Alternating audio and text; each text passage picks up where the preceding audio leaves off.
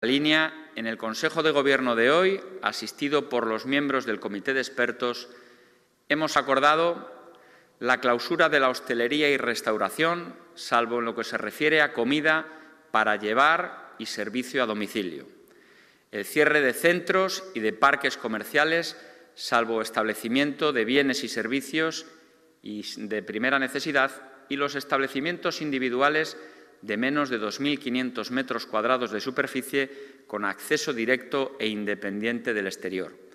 Se mantiene abierto el comercio minorista, en todos los casos siempre con las medidas de higiene y seguridad recomendados. Cierre de instalaciones y centros deportivos para la realización de actividad física que no sea al aire libre, salvo para la práctica de la actividad deportiva oficial.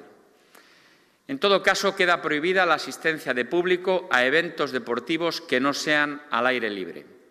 Se suspenden también las visitas en los centros residenciales de personas mayores y de centros de protección de menores, con algunas excepciones. Estas medidas entrarán en vigor a las cero horas del próximo viernes 6 de noviembre.